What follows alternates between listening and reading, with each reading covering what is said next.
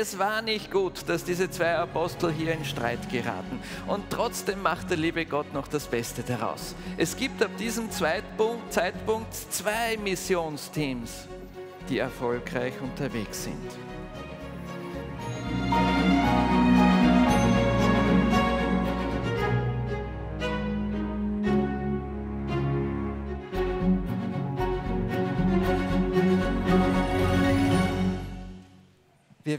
Uns heute ein paar Episoden aus dem Leben einer biblischen Figur ansehen. Ich will mit einem eher mysteriösen Text aus den Evangelien beginnen.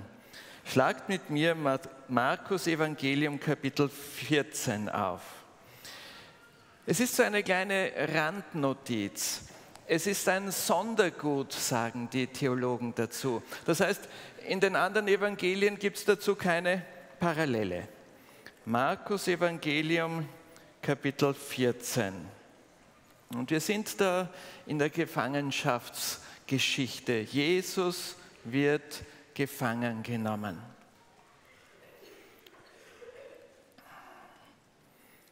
Ich habe da meine Elberfelder Übersetzung, aber ihr könnt ja in euren Bibeln dem Wortlaut auch gut folgen. Markus 14, Abvers 50. Und es verließen ihn alle, Jesus ist gemeint, und flohen. Und ein junger Mann, der ein Leinenhemd um den bloßen Leib geworfen hatte, folgte ihm und sie ergreifen ihn. Er aber ließ das Leinenhemd fahren und floh nackt. Ein junger Mann, im Griechischen steht dort Jüngling. Wie alt war der? Naja, wissen wir nicht so genau. Der Begriff ist ambivalent, 20 Jahre oder 30 Jahre oder vielleicht sogar 40 Jahre. Wir lesen hier, dieser junge Mann flieht nackt. Da bitte ich euch jetzt, eure Fantasie nicht so weit streifen zu lassen. Das heißt sicher nicht splitterfasernackt, sondern er hat sein Obergewand einfach hinter sich gelassen. Welche Jahreszeit ist das? Es ist die Passerzeit. Das ist unser Ostern. Ich war schon öfters in Israel genau zur Passerzeit, zu Ostern. Und ich muss sagen, da kann es auch ganz schön kalt sein. Einmal kann ich mich erinnern, sechs Grad nur Tageshöchstwerte. Und da hat man ein bisschen mehr an als nur ein normales dünnes Kleid. Ich will euch heute ein bisschen in meine Predigt mit einbinden. Ich werde euch jetzt zwei Fragen stellen und ich bitte euch da ein bisschen mit abzustimmen, sodass ich da ein bisschen ein Stimmungsbild und ein Feedback von euch bekomme. Meine erste Frage lautet, wie schätzt ihr diesen jungen Mann ein? Erste Option, war dieser junge Mann mutig? Wer ist dafür, dass der mutig war? Manche zögern noch. Okay, ich sehe, viele Hände. Jetzt spiele ich den Advocatus Diaboli. Ich weiß zwar nicht, ob ich das in einer Predigt machen darf, aber ich stelle die Frage anders. War dieser junge Mann leichtsinnig? Hat sich da unnötig in eine Gefahrensituation begeben? Wer von euch sagt, er war leichtsinnig? Okay, ich sehe da kaum eine Hand hochgehen. Wir haben schon gesagt, es ist die Gefangenschaftsgeschichte. Es ist natürlich mitten in der Nacht. Woher wusste der junge Mann eigentlich, wo Jesus ist? Mitten in der Nacht. Wusste er vielleicht vom letzten Abendmahl? War er vielleicht informiert über den Weggang dieser Jüngergruppe mit Jesus?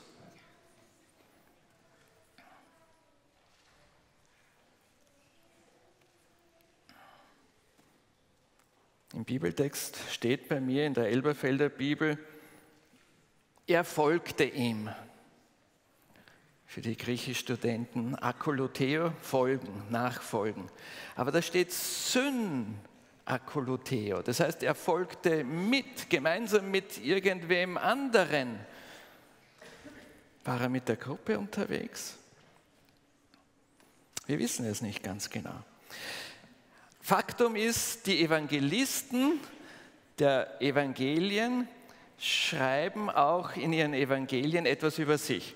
Wir kennen Matthäus, das ist der Zöllner. Jesus kommt vorbei, beruft ihn und nimmt ihn mit.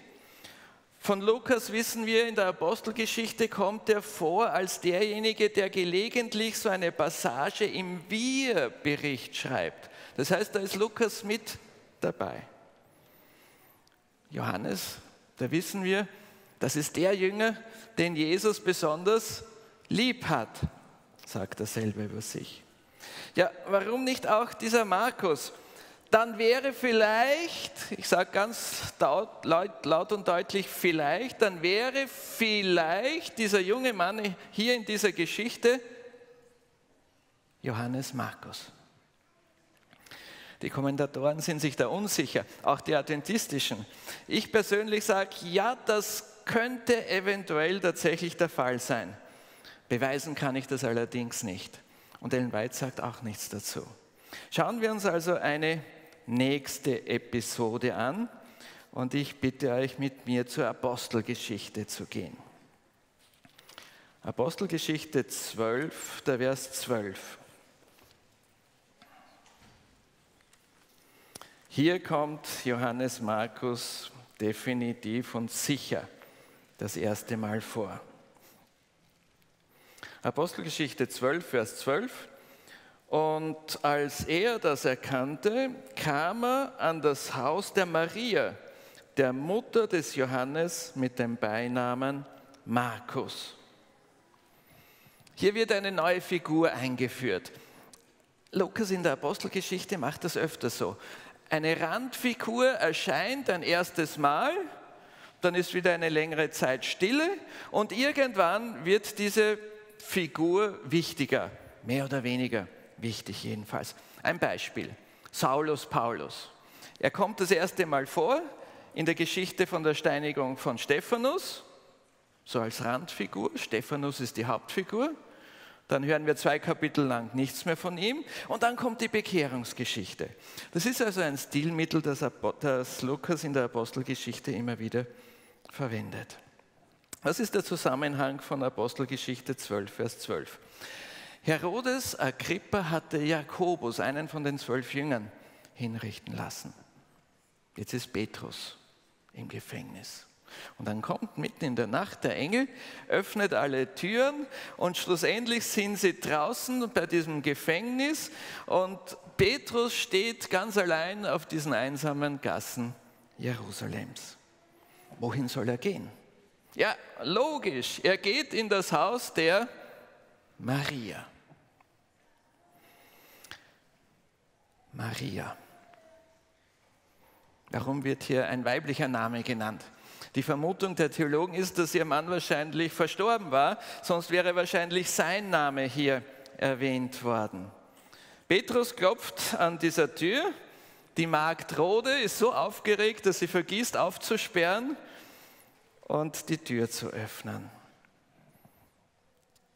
Petrus kommt in das Haus der Maria.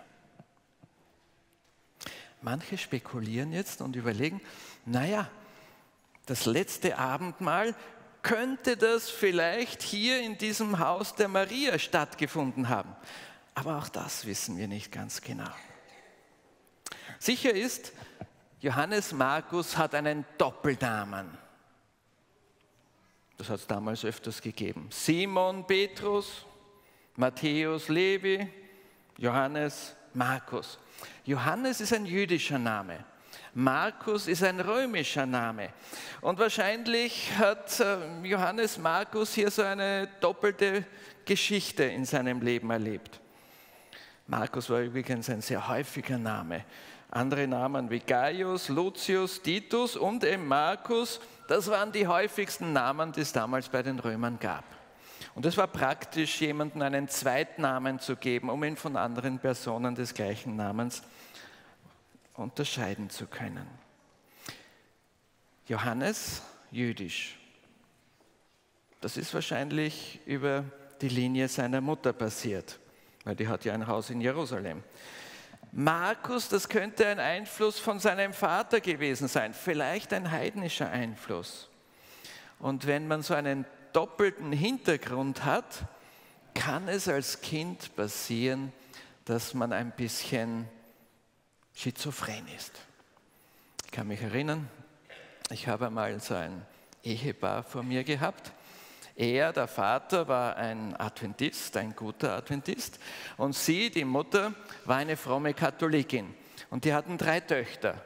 Und diesen drei Töchtern habe ich Religionsunterricht erteilt.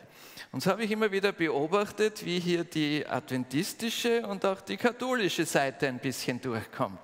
Da haben wir uns zum Beispiel die Abendmahlsgeschichte angesehen. Die drei Töchter haben die Geschichte gut gekannt. Das war von der Seite des Vaters her. Aber wenn es dann um das Verständnis ging, was passiert denn da beim Abendmahl, dann habe ich gemerkt, das war so ein Sakramentsverständnis, das kam von der katholischen Seite her.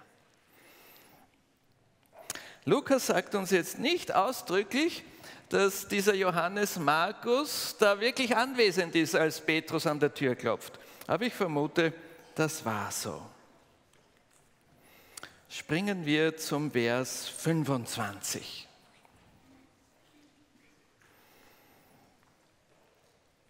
Barnabas aber und Saulus kehrten, nachdem sie den Dienst erfüllt hatten, von Jerusalem zurück und nahmen auch Johannes mit dem Beinamen Markus mit.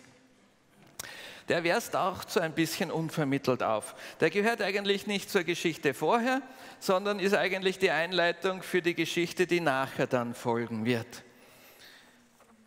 Wie kommen Barnabas und Paulus auf die Idee, diesen jungen Johannes Markus mitzunehmen? Die Bibel sagt uns das nicht. Wie kommen die auf die Idee, genau diesen jungen Johannes Markus mit auf Missionsreise zu nehmen?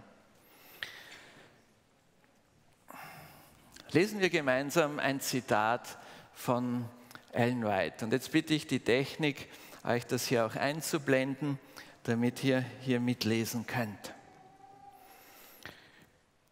Marias Haus in Jerusalem wurde ein Zufluchtsort für die Jünger.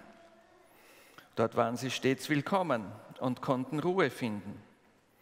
Während einem dieser Besuche im Haus seiner Mutter bot Markus Paulus und Barnabas an, sie auf ihrer Missionsreise zu begleiten.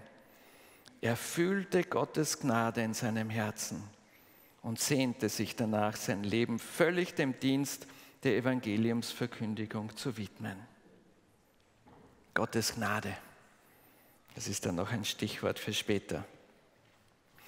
Also interessant für mich, Markus bringt sich da selbst ins Spiel. Er schlägt sich selbst vor. Und jetzt habe ich wieder drei Fragen an euch. Ich bin gespannt, wie ihr sie beantwortet. Wie bewerten wir das? Meine erste Frage. War es gut, dass Markus sich da selbst vorschlägt? Wer ist dafür, dass es eine gute Idee war? Naja, ihr seid noch etwas zögerlich. Zweite Frage. War das arrogant von diesem jungen Mann? Wer sagt, das war arrogant? Ja, traut sich niemand, weil es ja eine positive Figur werden wird. Jetzt kommen wir zu uns. Ist es okay, wenn wir uns selbst für irgendein Gemeindeamt vorschlagen? Wer sagt, ja, das wäre okay? Okay, einige zeigen auf.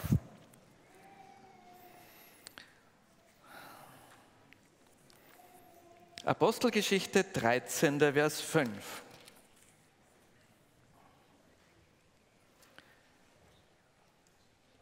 Und als sie in Salamis waren, verkündigten sie das Wort Gottes in den Synagogen der Juden. Sie hatten aber auch Johannes zum Diener. Die erste Missionsreise beginnt und jetzt kommt so ein ganz kleiner Nebensatz. Markus ist auch mit von der Partie. Da steht jetzt, er war Diener. Was soll denn das bedeuten? Im Griechischen ist das ein sehr schwieriges Wort, weil wenn wir im Deutschen Diener lesen, dann wissen wir nicht, was im Griechischen dort steht. Und da gibt es unterschiedliche griechische Wörter, die man mit Diener übersetzen könnte. Hier verwendet Lukas ein seltenes Wort, das nicht so oft im Neuen Testament vorkommt. Da steht Hyperetes. Welche Funktion hatte Johannes Markus auf dieser Missionsreise? war er der Kofferträger für die schon älteren Apostel. Oder war er ein Gehilfe, ein Adjutant? Modern würden wir sagen, ein Assistent. War er also mehr als nur ein Kofferträger? Das ist so meine Frage. Schauen wir kurz zum Lukas-Evangelium, Kapitel 1. Dort in der Einleitung verrät uns Lukas ein bisschen, wie er zu seinem Evangelium gekommen ist. Und dort verwendet er dieses gleiche griechische Wort wie auch in der Apostelgeschichte. Lukas Kapitel 1 und ich lese da gleich zu Beginn den Vers 2 wie sie uns die überliefert haben, die von Anfang an Augenzeugen und Diener des Wortes gewesen sind. Lukas verrät uns da, wie er zu seinem Stoff gekommen ist. Er ist ja nicht einer von den zwölf Jüngern. Er kennt also die Geschichten, die er berichtet, gar nicht aus eigener Erfahrung. Woher nimmt er denn sein Evangelium? Das ist so die Frage. Woher kannte er die Geschichten? Ja, ganz einfach. Er hat die Augenzeugen und Diener des Wortes befragt. Im Griechischen klingt es so, als ob die Diener und die Augenzeugen ein und dieselbe Gruppe sind, also nicht zwei unterschiedliche Gruppen. Und das waren natürlich Leute, die einen zuverlässlichen Bericht über die Ereignisse um Jesus liefern konnten. Das waren also total wichtige Zeugen in der alten Christengemeinde. Also kommen wir wieder zurück zu unserem Markus. Vielleicht war er tatsächlich nicht nur ein Kofferträger, sondern ein Zeuge. Vielleicht, so vermuten es viele Theologen, hat Markus sein Evangelium vor Lukas geschrieben. Und vielleicht hat Lukas für sein Evangelium schon das Evangelium von Markus gekannt und vielleicht mitverwendet. Ich weiß, das sind jetzt sehr viele vielleicht, aber trotzdem können wir uns das so vorstellen. Der junge Johannes Markus ist nicht nur Kofferträger, sondern Mitverkündiger, neben Paulus und Barnabas natürlich. Stellt euch einmal vor für uns heute, es kommt so ein junger Mensch zu euch und sagt, ich will in der Gemeinde mitarbeiten. Jetzt habe ich eine Frage an die Älteren unter uns.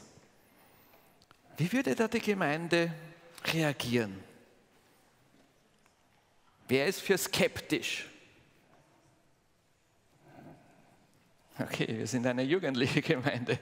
Niemand ist skeptisch. Ja? Wer wäre hoch erfreut, wenn da ein junger Mann oder eine junge Frau kommt und sich anbietet und mitarbeiten will? Darf ich die Hände sehen? Ja, das sind viele Hände. Gut so. Jetzt eine Frage an die Jüngeren. Wenn Johannes, Markus, sich das selbst ins Spiel bringen durfte, dürft ihr das auch?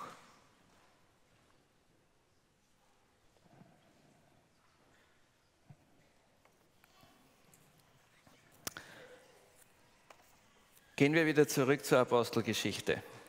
Apostelgeschichte 13, der Vers 13. Hier taucht Johannes Markus wieder auf. Apostelgeschichte 13, Vers 13. Als aber Paulus und seine Begleiter von Paphos abgefahren waren, kamen sie nach Berge in Pamphylien.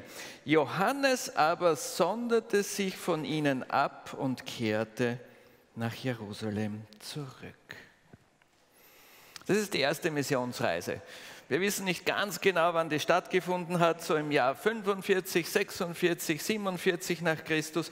Wenn der junge Mann aus Markus Kapitel 14 wirklich der gleiche Johannes Markus wie hier in der Apostelgeschichte ist, dann sind rund 15 Jahre vergangen.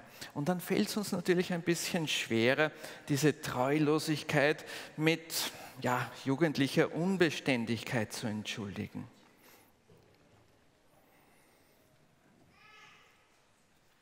Wie bewerten wir jetzt diesen enttäuschenden Rückzug von Johannes Markus? Ich gebe euch zwei Optionen. Ich sage schon vorher, wie die zwei Optionen lauten. Naja, war nicht so schlimm. Oder zweite Option, das war ein gravierender Vertrauensbruch. Wie bewerten wir das, was Johannes Markus hier tut? Wer sagt, naja, war alles gar nicht, wirklich nicht so schlimm.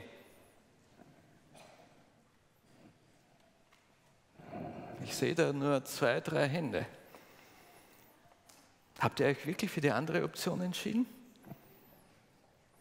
Das war ein gravierender Vertrauensbruch. Wer ist dafür? Ja, ich sehe trotzdem nur ganz, ganz wenige Hände. Überlegt ihr noch, wie wir das bewerten sollen? Okay. Loyalität und Treue, das waren ganz wichtige Tugenden in der Antike.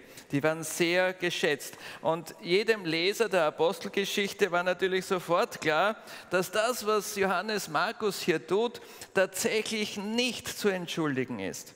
Das war ein wirklich schlimmes Vergehen, die anderen da einfach so im Stich zu lassen. Ich möchte euch bitten, jetzt eine zweite Folie einzublenden. Und lesen wir dieses Zitat gemeinsam mit dieser Fragestellung. Wie bewertet Ellen White diesen Johannes Markus in dieser Situation? Das ist so unsere Frage. Hier geschah es, dass Markus sich von Angst und Entmutigung überwältigen ließ und seine Absicht, sich von ganzem Herzen dem Auftrag des Herrn zu widmen, eine Zeit lang ins Wanken geriet. Er war Schwierigkeiten nicht gewohnt und verzagte angesichts der Gefahren und Entbehrungen auf dem Weg. Unter günstigeren Umständen hatte er erfolgreich gearbeitet. Als die Apostel weiter vorangingen und noch größere Schwierigkeiten zu befürchten waren, ließ sich Markus einschüchtern und verlor gänzlich den Mut. Er weigerte sich weiter zu gehen, zu gehen und kehrte nach Jerusalem zurück. Er weigerte sich weiterzugehen. Schon eine interessante Formulierung. Ist euch das auch schon einmal passiert? dass ihr nicht weitermachen wolltet?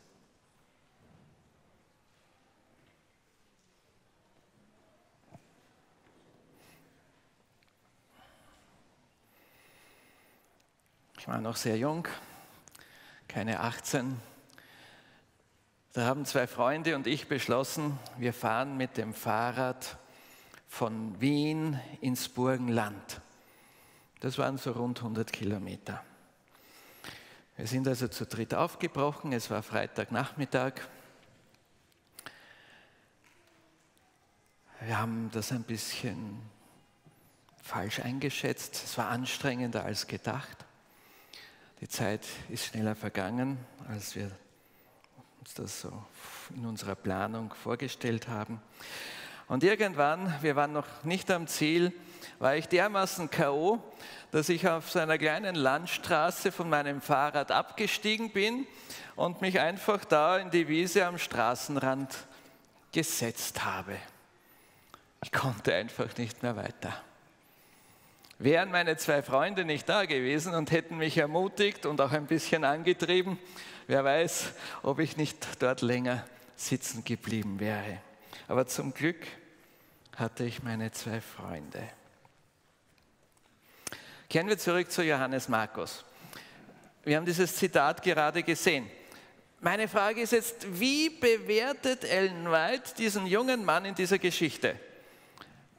Wer ist dafür, dass sie das eher streng bewertet, was er hier macht?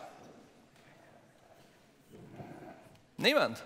Oh ja, da gibt es jemanden. Wer meint, dass sie hier sehr mild in ihrer Bewertung ist? Die meisten. Ja, warum erzählt denn Lukas diese Geschichte überhaupt? Das ist ja nur so eine kleine Randbemerkung. Naja, weil er natürlich weiß, wie es mit diesem Johannes Markus weitergehen wird und dass es ein paar Jahre später eine heiße Diskussion um diesen jungen Mann geben wird. Eine intensive Diskussion. Gehen wir zu Kapitel 15, Apostelgeschichte 15. Und lesen wir da die Verse 37 bis 40. Kapitel 15, Abvers 37. Barnabas aber wollte auch Johannes mit dem Beinamen Markus mitnehmen. Paulus aber hielt es für richtig, den nicht mitzunehmen, der aus Pamphylien von ihnen gewichen und nicht mit ihnen gegangen war zu dem Werk. Es entstand nun eine Erbitterung. Bei mir in der Elberfelder steht eine Erbitterung, sodass sie sich voneinander trennten und Barnabas den Markus mitnahm und nach Zypern segelte. Paulus aber wählte sich Silas und zog aus, von den Brüdern der Gnade Gottes befohlen. Erbitterung. Die Lutherbibel sagt, sie kamen scharf aneinander. Oder Schlachter, deshalb entstand eine heftige Auseinandersetzung. Auf gut österreichisch, da sind die Fetzen geflogen. Ja, warum? Weil sie sich in der Bewertung dieses jungen Mannes, Johannes Markus, nicht einig waren.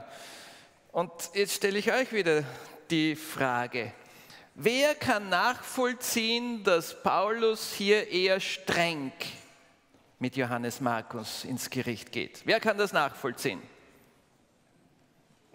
Okay, ich sehe etliche Hände. Wer kann nachvollziehen, dass Barnabas da eher milde ist in der Bewertung?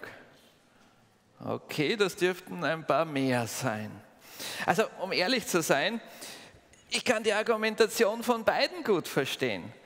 Ich kann beide Seiten gut nachvollziehen. Noch dazu, Barnabas war mit diesem Johannes Markus ja auch verwandt. In der Bibel, im Kolosserbrief, Kapitel 4, Vers 10, wird ein Begriff verwendet, der im Griechischen nicht ganz so klar ist. Waren sie Cousins oder war Markus vielleicht doch eher der Onkel?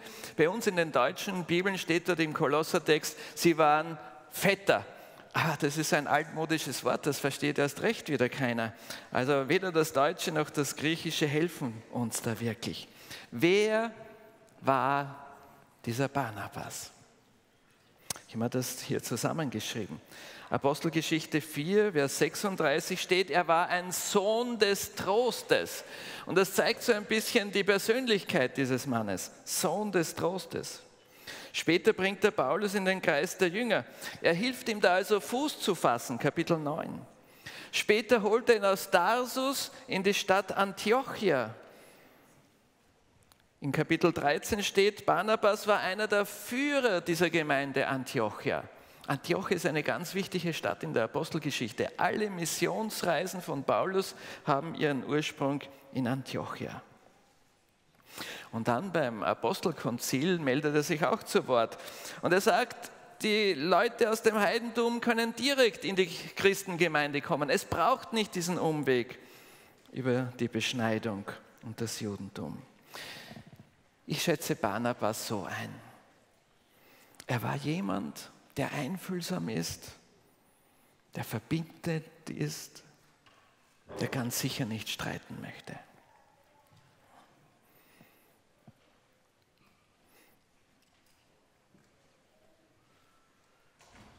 Jetzt habe ich eine Frage, wo ihr ohne Aufzeigen für euch selbst überlegen müsst.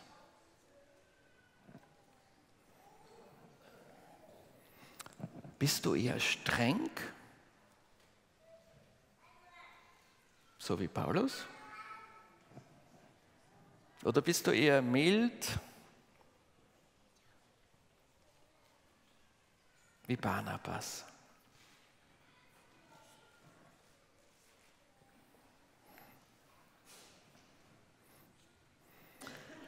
Beides, strenge und auch milde, waren in der Antike sehr geschätzte Werte. Und wir als Leser, wir kommen, wenn wir diese Geschichte hier in Apostelgeschichte 15 lesen, irgendwo in so ein kleines Dilemma hinein. Wir als Leser müssen uns ja entscheiden, sind wir jetzt auf der Seite von Barnabas oder sind wir eher auf der Seite von Paulus? Und Lukas macht uns das wirklich nicht leicht. Er macht uns unsere Entscheidung definitiv nicht leicht. Wer liegt denn jetzt hier richtig? Paulus? Oder doch Barnabas? Ich möchte die Technik bitten, noch ein drittes Zitat einzublenden. Diese Fahnenflucht veranlasste Paulus, den jungen Markus eine Zeit lang nachteilig, ja streng zu beurteilen. Barnabas dagegen neigte dazu, das Verhalten aufgrund dessen Unerfahrenheit zu entschuldigen. Er war um Markus besorgt und wollte nicht, dass dieser den Missionsdienst aufgab, denn er sah in ihm Fähigkeiten, die ihn geeignet machen würden, ein nützlicher Diener Christi zu werden. Seine Sorge um Markus wurde in späteren Jahren reichlich belohnt, denn der junge Mann übergab sich rückhaltlos dem Herrn und verkündigte das Evangelium in schwierigen Wirkungsfeldern. Unter dem Segen Gottes und unter der weisen Anleitung von Barnabas entwickelte er sich zu einem wertvollen Mitarbeiter.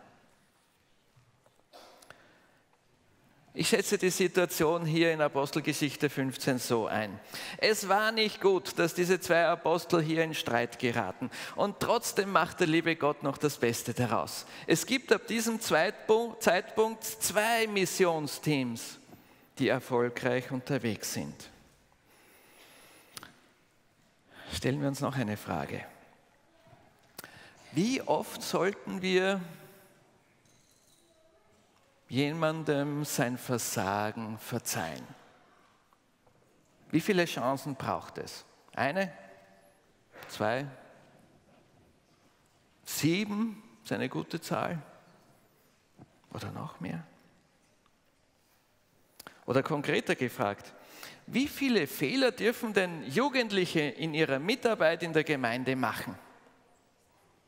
Keinen? Einen? Zwei?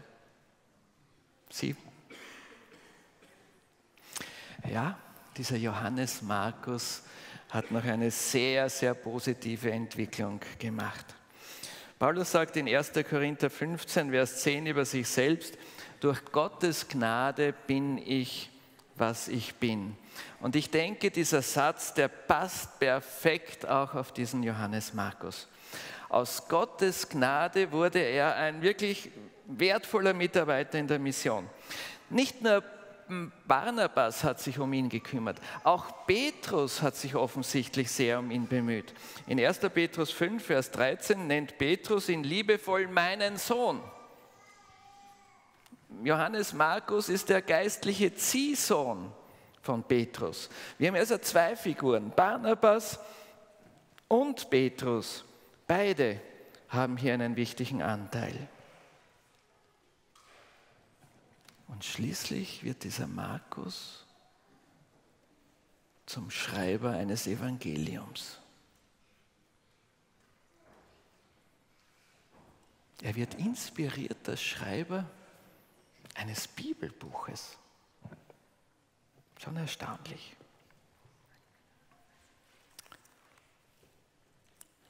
Kommen wir noch einmal ganz kurz zu Paulus.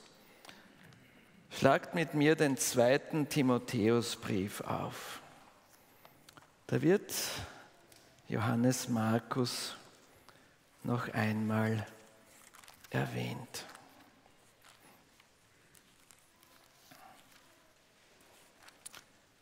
2. Timotheus 4, Vers 11.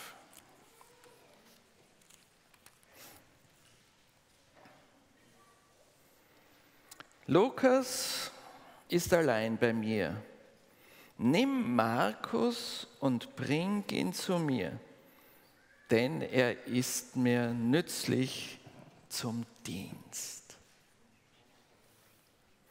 Es vergehen also noch einmal ein paar Jahre, paar Jahre und jetzt passiert das Erstaunliche. Paulus ändert seine Meinung. Markus ist nicht mehr der feige Versager in der Missionsarbeit.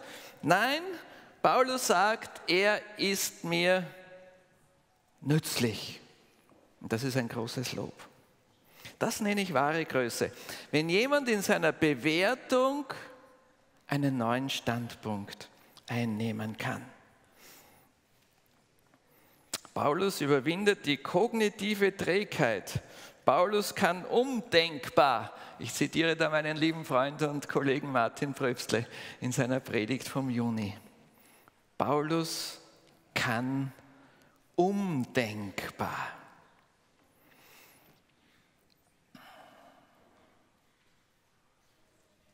Wie ist denn das bei uns? Wir neigen doch dazu, an unserer Meinung festzuhalten. Also, ich möchte euch jetzt nichts unterstellen.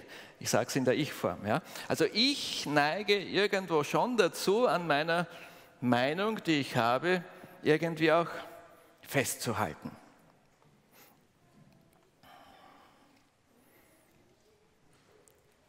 Wir tun uns doch, wenn wir ehrlich sind, alle ein bisschen schwer, auch unsere Meinung zu ändern. Paulus schafft das und das können wir von ihm lernen.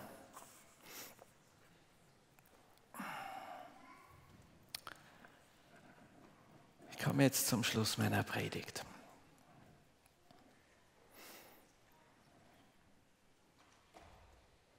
Möchte euch bitten, denkt doch über die eine oder andere Frage noch weiter nach, die ich heute gestellt habe. Nicht alle Fragen haben wir beantwortet und manche Fragen, die habe ich euch ja persönlich ans Herz gelegt, damit ihr persönlich und privat darüber nachdenkt. Aber zwei Fragen, die habe ich noch so zum Schluss meiner Predigt. Eine erste Frage an die etwas Älteren unter uns.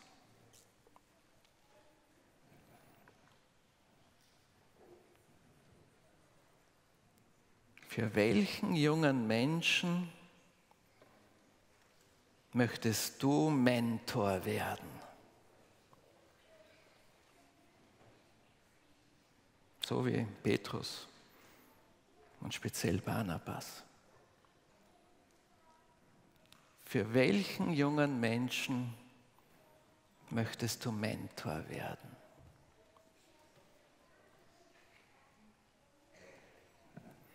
Jetzt habe ich noch eine zweite Frage für die Jüngeren unter uns.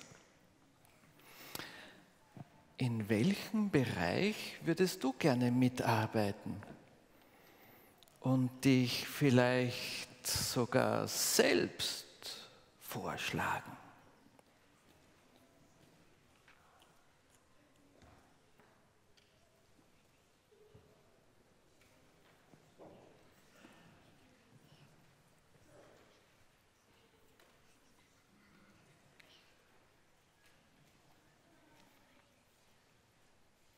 Ich wünsche euch Gottes Segen beim Nachdenken über diese Fragen.